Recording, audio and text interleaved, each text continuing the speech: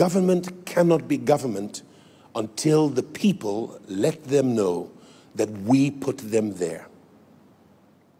And nobody can rule over you except you give them permission. The Nigerian youth are finding their voice and have come to understand that together, with one voice, we have more power than any government. And so we want to see every single member of House on the Rock lending their voice, not to attack government, but to demand reforms. And we are starting with the End SARS movement. We're going to make many more demands in all the irregularities and anomalies in public and civil service.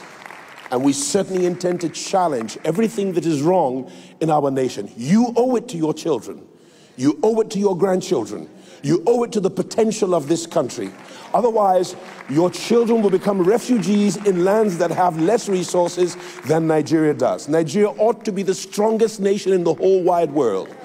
And now it is time for us to wake up, rise to our responsibility, and stand our ground and make sure that not one of your brothers or sisters in Christ or in the Nigerian brotherhood is left out of the challenge and the fight to insist and ensure that justice returns to our streets, that righteousness is restored to our land, that equity goes back to the parliamentary halls of our nation, and that equity and equality are available to all Nigerians. No longer will governments continue to steal from us. No longer will public servants and judicial officers continue to rape the system of justice. No longer should the law enforcement of our nation ever again inflict injustice upon us when they're supposed to protect justice for us.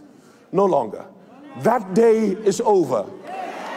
And I want to commend this organic movement that is not led by any one individual. It's just the heart cry of all Nigerians, old and young. But I am so proud of our youth. I am so proud of our youth. I believe that Martin Luther King is jumping in heaven, seeing Nigerians rise to their cause. I was elated when I saw my pastor, Bishop Jakes, another Nigerian, though of American birth, uh, uh, rise to add his voice to the anthem. Another friend, Tyler Perry, has added his voice. How will we allow citizens of another nation speak out for us? And yet, you hold your silence. It's not the evil of wicked men that allows injustice to continue. It's the silence of good men and good women that allows the perpetrators of injustice to continue their wicked works. That day is over. Let's add our voice to the big anthem that now sounds with a unification to condemn the irregularities, the brutality, the extrajudicial violence to the citizenry. Let's add our voice to that anthem to insist that it stops from here forward. Power to the people.